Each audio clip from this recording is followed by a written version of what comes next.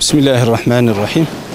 Siirt Umut Kervanı olarak bugün iki araç eşya doldurduk. Depremin ilk olduğu günden beri Umut Kervanı Vakfı olarak biz her yerde bir seferberlik başlattık.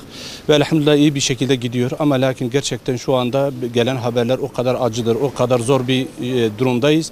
Daha çok ihtiyaçları var. Özellikle su, sıcak yemek olsun, ekmek olsun, bir de elbise, gıda, o tür şekilde ne olursa olsun eğer böyle hayırseverin elinde varsa diyoruz ki bize ulaştırın. Biz bir inşallah bundan sonra bir daha göndereceğiz ve göndermeye devam edeceğiz. E, şu anda gelen haberler çok acıdır ve ben bugün özellikle şunu belirtmek istiyorum. Bir tane amcanın şeyini gördüm. Elinde biz bisküvi vardı. Çok bekliyorum. Allah yardımcıları olsun. Evet hocam diyeceğim bu, bu kadardır. Allah razı olsun.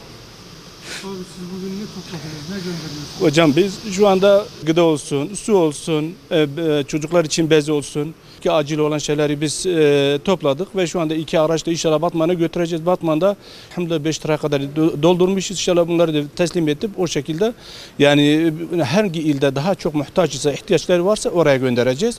Bu şekilde inşallah devam edeceğiz. Bütün hayırseverlerde bir- bir daha devam etmesini rica ediyoruz.